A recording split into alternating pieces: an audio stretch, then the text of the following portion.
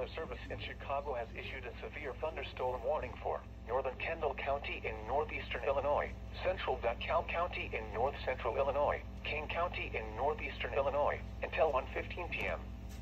At 12:47 p.m., severe thunderstorms were located along a line extending from near Malta to 6 miles southwest of DeKalb to Hinckley to Plano, moving northeast at 30 miles per hour.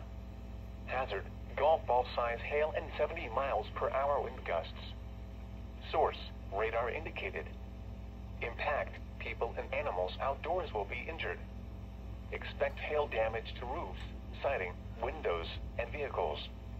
Expect considerable tree damage.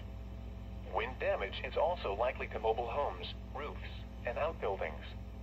Locations impacted include Aurora, Elgin, DeKalb, St. Charles, Oswego, Batavia, Geneva, Sycamore, Yorkville, Campton Hills, Plano, Sandwich, South Elgin, Montgomery, North Aurora, Sugar Grove, Pingree Grove, Boulder Hill, Elburn, and Cortland. Including the following interstate, Interstate 88 between mile markers 83 and 119.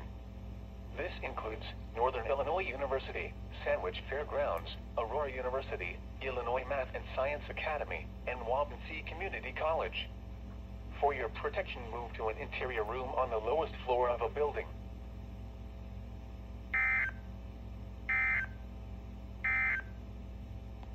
national